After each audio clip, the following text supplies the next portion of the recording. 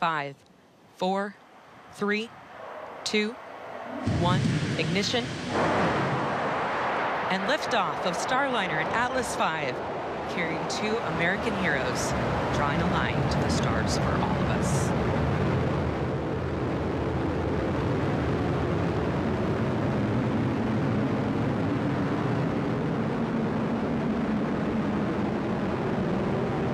Commander Butch Wilmore there calling down to Mission Control here in Houston that the spacecraft has begun rolling into the right attitude for its ascent. And the guidance, navigation, and control officer here in the room seeing good data on that.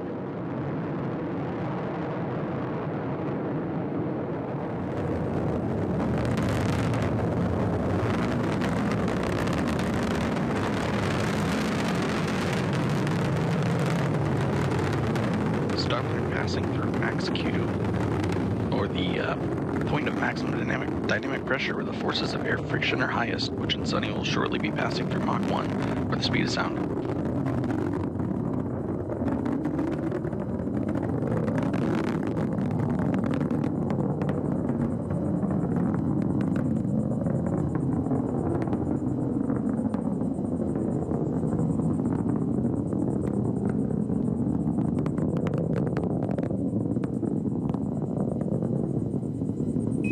Got a good throttle up. Starliner and Atlas looking good with speeds and attitude increasing as expected. Coming up in less than 20 seconds, the solid rocket boosters will run out of fuel and burn out.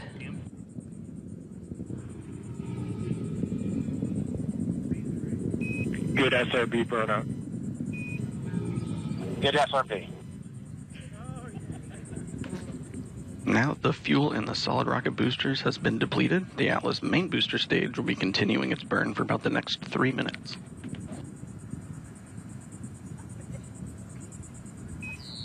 Good handle. Good handle.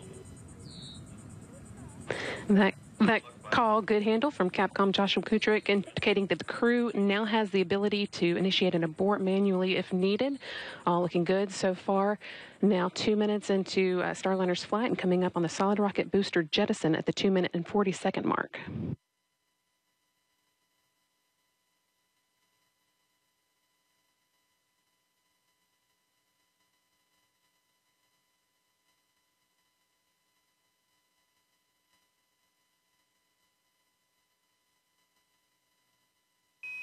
CLG in that good trajectory. CLG.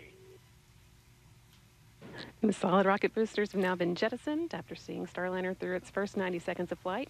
Team on the ground here confirming that it was a good jettison and that the vehicle's trajectory continues to look good. Now, uh, three minutes into today's flight. We are watching Boeing Starliner spacecraft making what is Boeing's first crewed test flight ever. Uh, about a minute and a half in, almost two minutes in. It looks like smooth sailing so far. I want to go to astrophysicist Hakeem Oluseyi and our own Gio Benitez, who's there at the Kennedy Space Center. Gio, it looked like a smooth takeoff from here. What's it like there right now?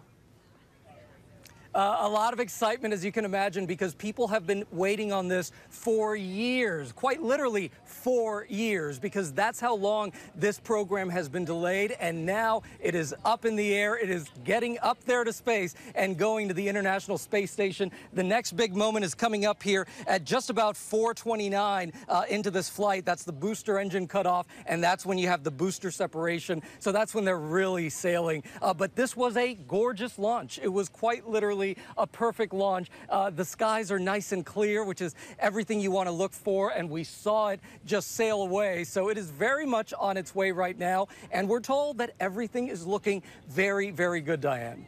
Hakeem, what do you watch for in a launch like this? And anything stick out to you about this one? Well, you know, this is a huge rocket. This is a big, complex machine, and there's so many ways that things can go wrong.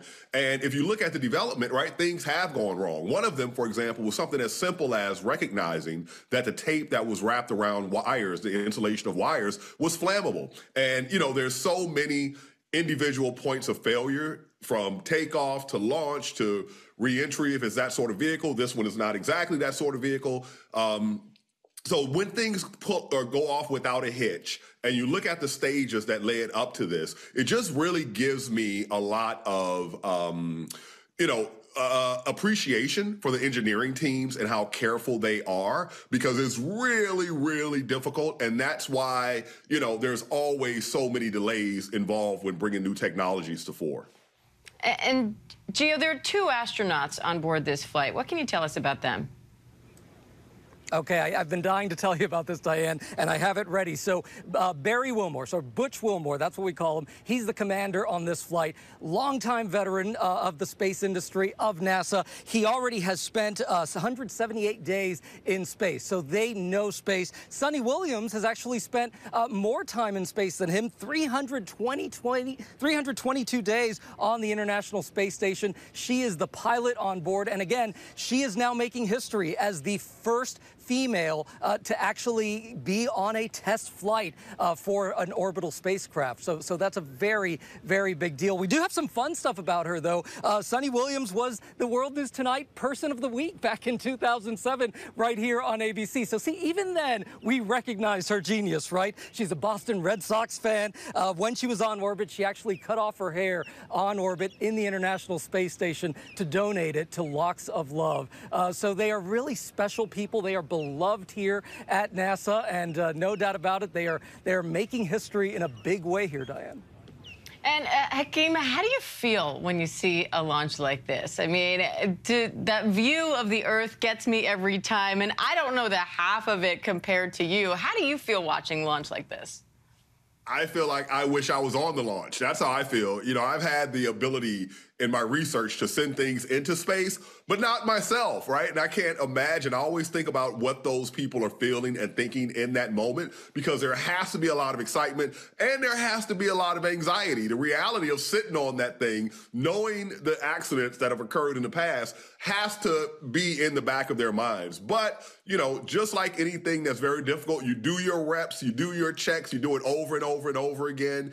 And, you know, once they're in space, that is sort of the magic moments now where you get to view the sky like you've never seen it. Going to a dark sky location on Earth is spectacular. Imagine being in space and looking at space. Like that's nuts. And a view of the Earth that you've never seen. And you get to go around the planet, you know, at a faster rate than, uh, you know, otherwise you'd be able to see the planet. So everything about it is just spectacular. But they have a job to do. So, you know, there has to be a balance between getting yourself together, doing your job, and enjoying the experience as you're going through it.